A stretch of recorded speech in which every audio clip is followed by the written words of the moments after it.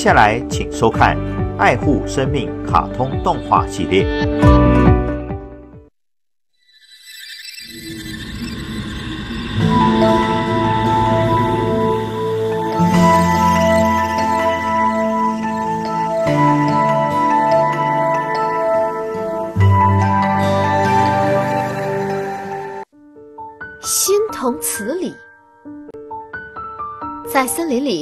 活着一群狼和一群柴狗，这是两个水火不容的种群。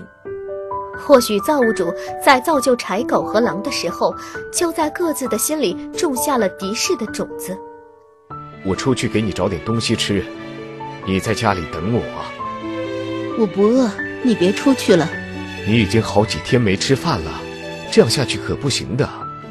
我没有胃口，不想吃，我想念我们的孩子。你不能这样下去的，你得养好身体，我们还会有孩子的。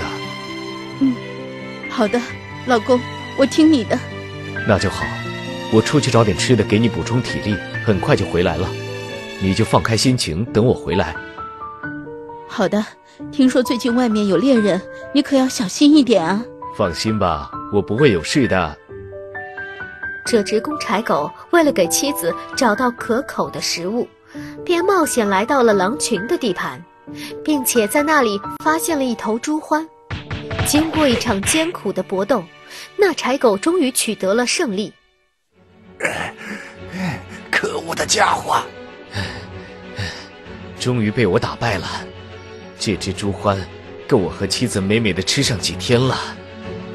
公柴狗疲惫的来到那猪獾的面前，准备将它拖回家。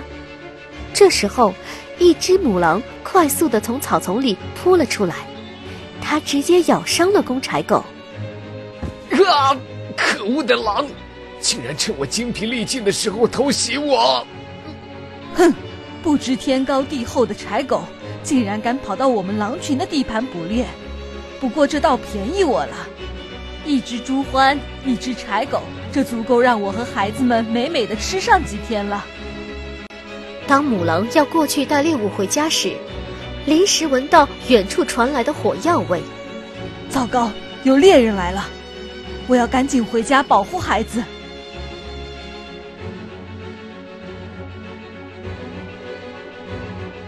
怎么回事？老公出去这么久了，怎么还没回来？不会遇到什么危险了吧？母柴狗在寻找丈夫时，经过母狼的洞穴，一时闻到了老公气味。嗯，哦，是你杀死了我的丈夫。刚才你老公没有被我咬死，变成我的食物，刚好你来了，就可以成为我的腹中餐了。哼，你别想。我要帮我老公讨回公道。呵呵，你根本就不是我的对手。哦，危险！火药味道越来越强了，是刚刚的猎人找到这里了。不行，要快躲起来才可以。糟糕，这下要怎么办呢？他这是在干什么？为什么不赶紧躲起来啊？啊，他这是干什么？怎么朝猎人的方向跑过去？这不是在找死吗？哈哈，打中了！今天运气真好，竟然来了一只笨狼！快，我们赶快把它抬回去。好的，真的是太走运了。这么大的一只狼，可是能卖非常多钱的。奇怪，他为什么要自投罗网啊？哦。原来是这样啊！他这是为了保护自己的孩子，才依然朝猎人方向跑去，牺牲自己的性命，也要保护自己的孩子。这就是母亲。可是他死了，这四个小家伙也活不了啊！母爱发挥的柴狗，最终将这四只小狼崽带回了自己的洞穴，偷偷抚养起来。随着小狼越长越大。他们终于引起了其他柴狗的注意。子们，别出声，外面有情况。妈妈，有什么状况啊？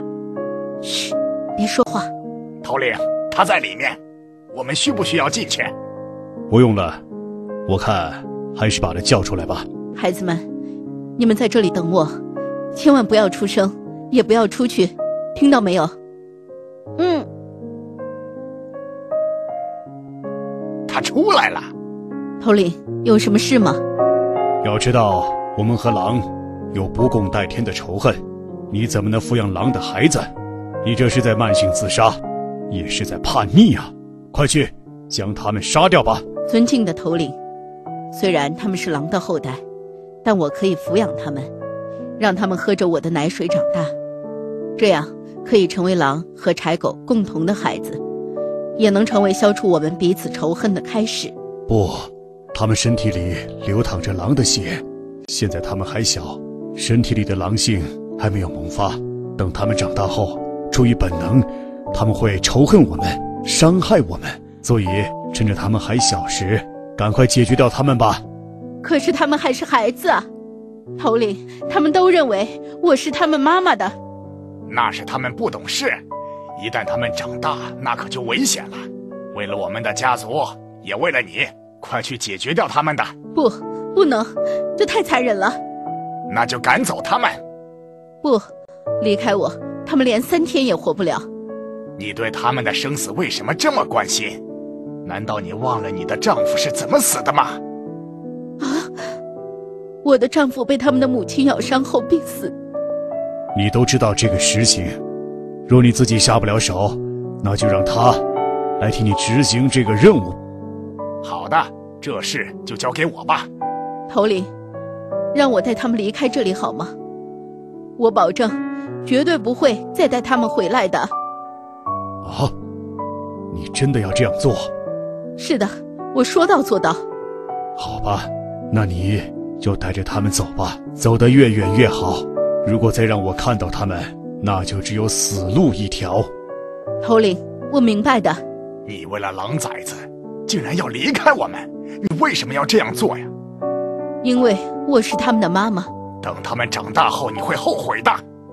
即便将来后悔也无所谓，现在我是不会放弃他们的。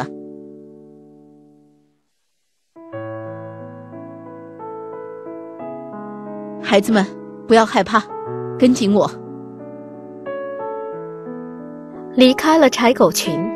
柴狗妈妈要想独自在森林里生活，并照顾四只小狼，可不是一件容易的事情。它已经好多天没找到充足的食物了，饥饿让它感到头晕目眩。好累啊，今天怎么一点力气都没有？我看我还是休息一下，再去捕猎吧。好饿啊，我的肚子都饿扁了。妈妈已经出去找食物了，她一定会给我们带回食物来的。这几天妈妈带回来的食物太少了，她自己都没舍得吃，所以今天不管妈妈带回多少食物，我们都得让她先吃。对，妈妈太辛苦了，我们现在长大了，得帮妈妈减轻负担了。啊，我的孩子真是太懂事了。不行，今天我说什么也得找到食物。柴狗妈妈再一次走进了森林。突然，在一棵大树下，他看到了一大块诱人的食物。这里怎么会有这么大的一块食物啊？哎呀，这是一个圈套！就这么放弃这块食物也太可惜了。如果我轻轻的将这块食物取下来的话，那我们一家便可以吃一顿饱饭了。为了让全家吃一顿饱饭，柴狗妈妈铤而走险，准备将这块食物取下来。她谨慎地伸出脚，一点一点地将那食物往外移动，食物一点一点地从捕兽夹上脱落，黑亮亮的铁夹子显露了出来。柴狗妈妈见后，急忙将脚缩了回来。如果被这东西夹住，可就惨了。这几天妈妈带回来的食物太少了，她自己都没舍得吃，所以今天不管妈妈带回多少食物，我们都得让她先吃。对，妈妈太辛苦了，我们现在长大了，得帮妈妈减轻负担了。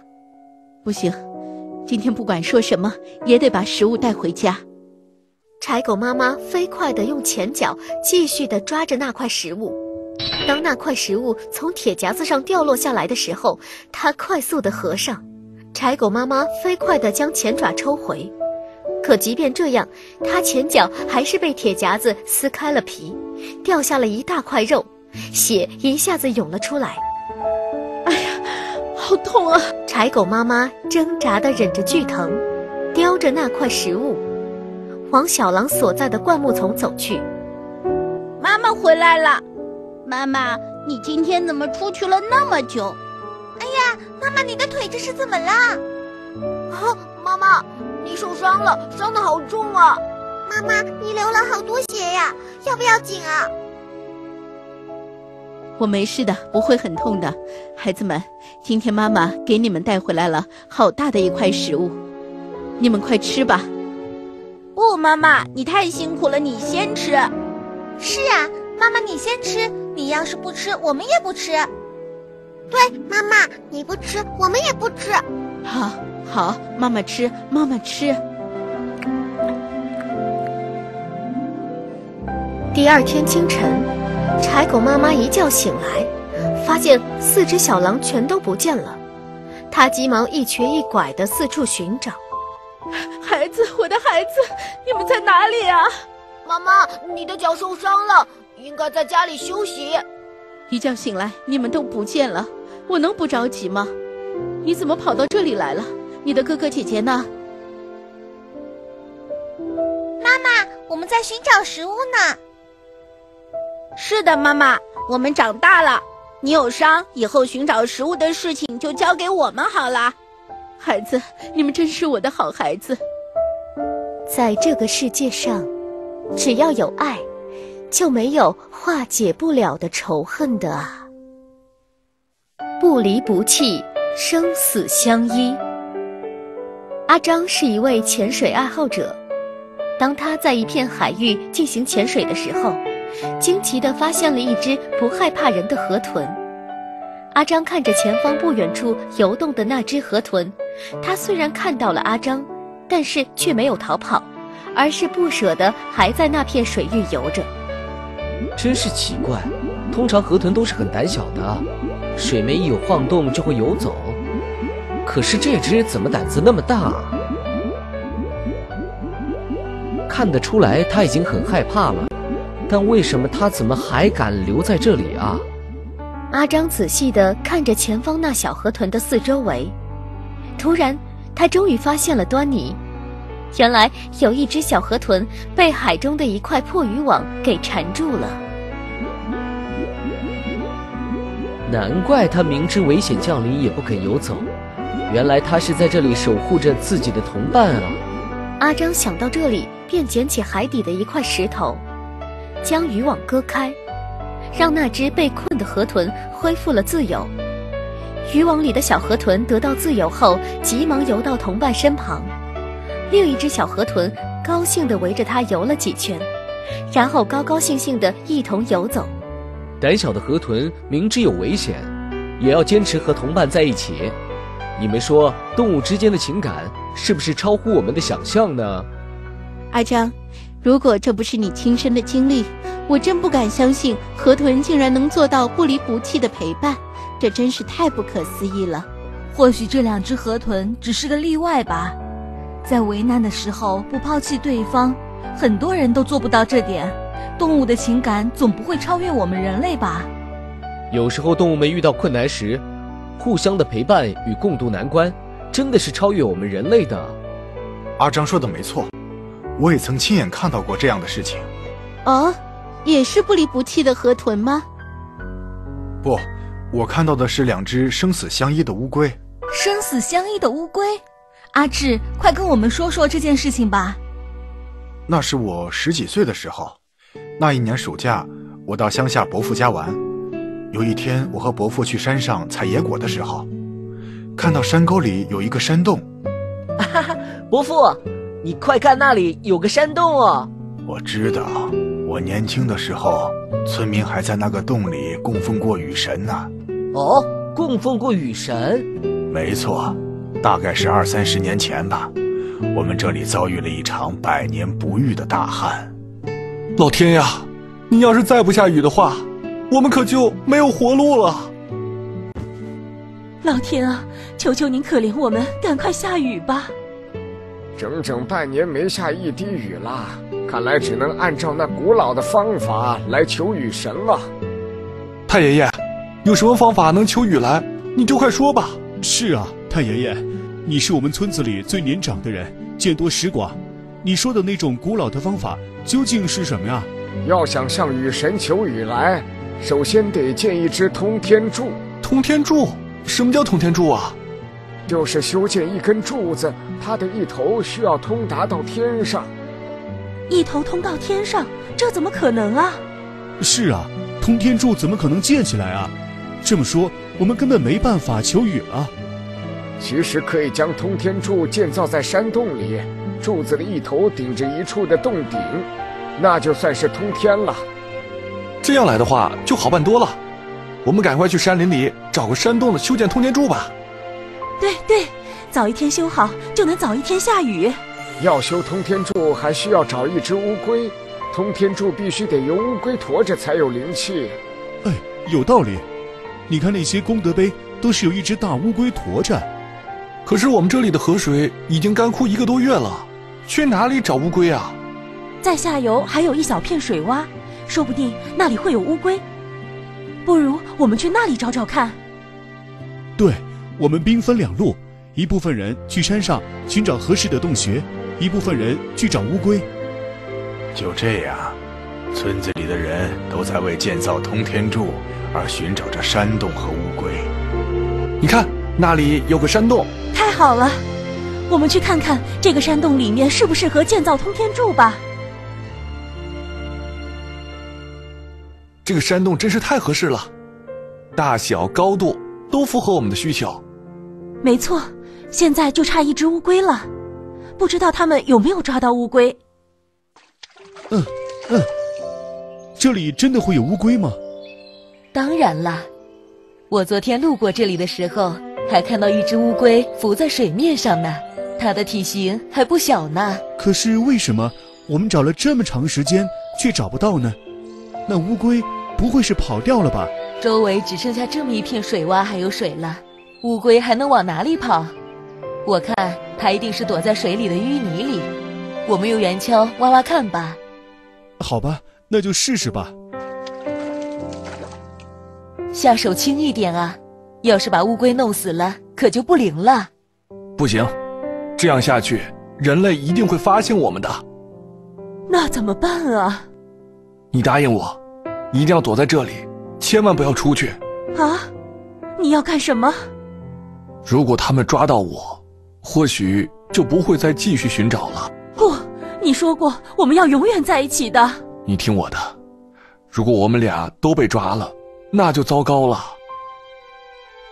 这里有好多石头，你说乌龟会不会躲在里面啊？有可能，我们就在这里仔细找一找。记得。不要跑出来，一定要躲好了。我去把他们引开。哎，你快看，乌龟，好大的一只乌龟！哈哈，我抓住它了。哎呀，不好，我老公被人类抓住了。你看，又出来了一只，赶快抓住它。真是得来全不费工夫，一下子竟然抓住了两只大乌龟。这两只乌龟我们都带回去，让太爷爷看看用哪只合适。我不是说过你别出来吗？你怎么就是不听啊？我们说过，从今往后要一直在一起，生死相依，不离不弃。唉，现在我们都被人类抓住了，这次可是凶多吉少了。就这样，这两只乌龟都被村民们抓起来，带到了山沟里的这个洞里。太爷爷，你看，我们抓回来的这两只乌龟合不合适啊？嗯，不错。我看就用这只龟来驮通天柱好了。太爷爷，只需要一只乌龟就够了吗？是的，我们只需要一只乌龟就可以了，剩下的那一只你们带出去放生吧。放生？这么大的乌龟放生了多可惜！我看还是拿回去煲汤吃了吧。胡闹！乌龟的灵性非常的高，所以才让它驮着通天柱。你要是吃通灵乌龟的话，是会遭到报应的。哎呀，是哦，那我还是听你的话，把它放生了。众人开始将雌龟安放在地上，然后开始在其身上垒着石头，而雄龟则被小运拎出了山洞。雄龟双眼不舍地看着雌龟，而雌龟也含着泪看着渐渐远去的雄龟。就这样，我们将雌龟压在了石柱底下，而那只雄龟则被带出山洞，在附近的一处山溪旁放生了。伯父，那我们进那个洞里看看好吗？那里好多年都没人进去了。如果不是你提起，我差点都忘记这里还有个山洞了。你看，通往那里的路很难走，我看还是不要去了。但我想看看那个通天柱呢。那好吧，我就陪你下去看看。当阿志来到山洞后，便一眼看到了那根通天柱。那不过只是用一些石头垒起的柱子。唯一特别的就是在柱子下面压着一只乌龟，那乌龟四肢趴在地上，脑袋昂在空中，一双眼睛仍闪烁着生命的光泽。哎呀，伯父，你看这只乌龟竟然还活着！这怎么可能？它只是没有腐烂，变成了一个标本而已。原来是这样哦，看它栩栩如生的样子，我以为它还活着呢。二三十年了。他怎么可能还活着呢？也对啊，他应该早就饿死了。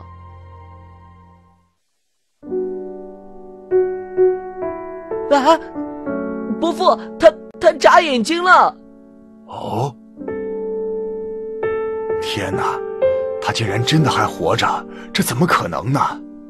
就在阿志和伯父百思不得其解的时候，洞外的草丛里传来了一阵沙啦啦的声响。好像有什么东西正在往山洞里爬。伯父，好像有什么东西来了。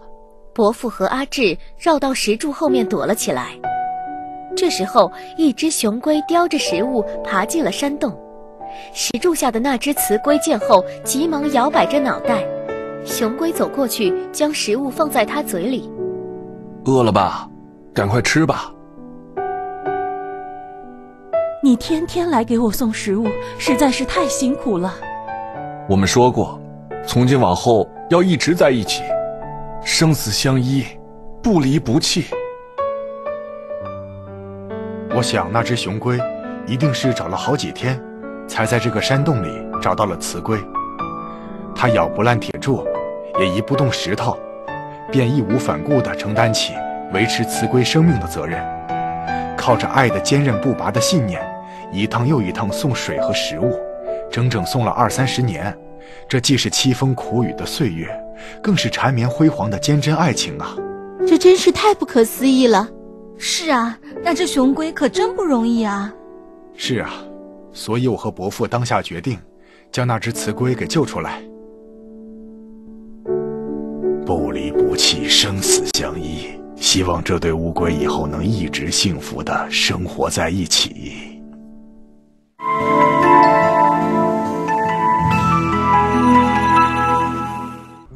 护持中华国际诗实协会，邮政划拨，户名社团法人中华国际诗实协会，划拨账号五零三九六八一九五零三九六八一九，银行账号银行代号土地银行零零五，账号零一二零零一二零五六六六。零一二零零一二零五六六六。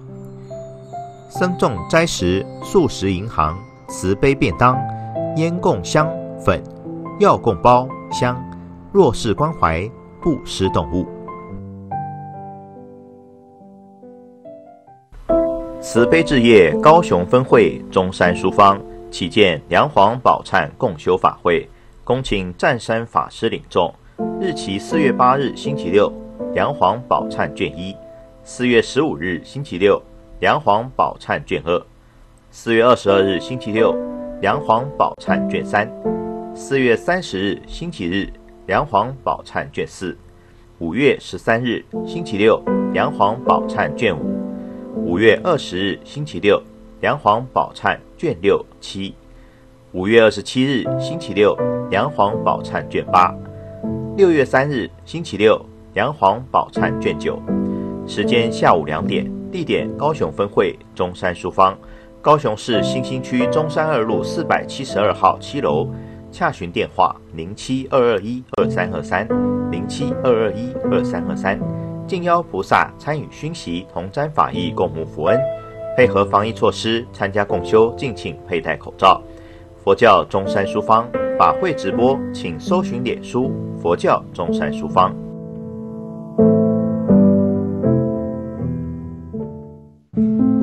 佛教慈悲置业基金会台南分会，二零二三年正式开启药师祈福灯，欢迎台南地区大德为重病者点一盏药师灯，敬请亲临分会登记，不受理电话、网络报名。联络电话：零六二七一六六一六零六二七一六六一六或零六二七一六六一二零六二七一六六一二。地点：台南市永康区永大路二段三百四十五号。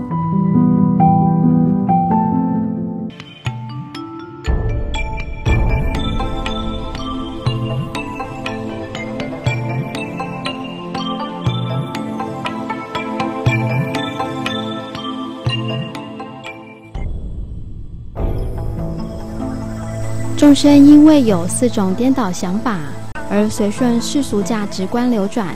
烦恼不绝，以为身是清净的，以为受是乐的，以为心是不变的，以为诸法是永恒的。在《杂阿含经》中，世尊告诸比丘：有一乘道，尽诸众生，令越忧悲，灭恼苦，得如实法。所谓四念处，依四念处观修，可以净化烦恼。一观身不净，关照身体实为不净，而世间一味贪爱追求身体的过度装饰，广集烦恼。二观受是苦，关照感受实为苦，世间极力填满欲望的吞货，即使以得到为满足，终究也离不开得到后失去的苦受。三观心无常。关照心念实为无常，不但自己的心时时变化，他人也是。四观法无我，时观诸法均为因缘和合，生灭相依。能够锲而不舍地修习思念处，就可以渐渐消除妄想执着，从种种烦忧苦恼的火热中脱身而出，成为一个自在而觉醒的人。智慧明朗，心地柔和，宁静而浸润在喜悦之中。